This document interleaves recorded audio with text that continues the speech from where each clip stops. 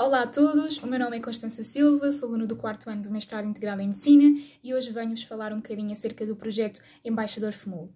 Uh, para mim, participar nesta iniciativa foi uma experiência bastante enriquecedora. Uh, em primeiro lugar, porque neste projeto existe um contacto muito próximo entre nós e os alunos do ensino secundário, que têm especial interesse na área da saúde, o que os torna bastante interessados e, e motivados uh, em querer saber mais.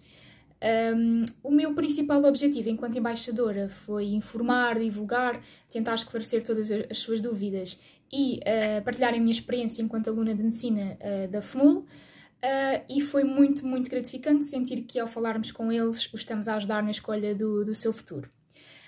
Em segundo lugar, dizer que participar neste projeto permitiu-me desenvolver as minhas skills de comunicação, uma vez que tive que fazer uma pequena apresentação para uma plateia de jovens, o que me incentivou a ter um discurso apelativo e que cativasse a sua, a sua atenção.